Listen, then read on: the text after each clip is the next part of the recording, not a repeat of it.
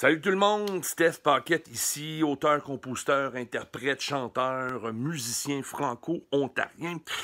Écoutez, on me pose souvent la question, c'est comment écrire une chanson? C'est quoi?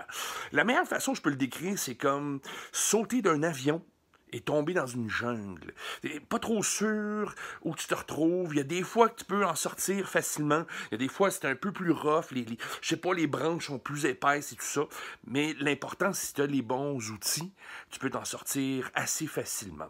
Eh bien, je vous dis tout ça juste pour vous annoncer que le 9 février prochain, je vais offrir un atelier sur l'écriture et la composition de chansons originales. Et ça va être gratuit, ça va être par Internet, euh, ça va être offert à tous les étudiantes et les étudiants des écoles secondaires francophones de l'Ontario au complet. Ça fait partie du projet Studio 21. Et si vous ne connaissez pas ce projet-là et que vous êtes musicien, même si vous n'avez pas de groupe de musique ou rien, musicien, chanteur, chanteuse, whatever, là, allez visiter le site web www.istudio21.ca. Je pense qu'il est à l'écran quelque part, d'être là. là. All right?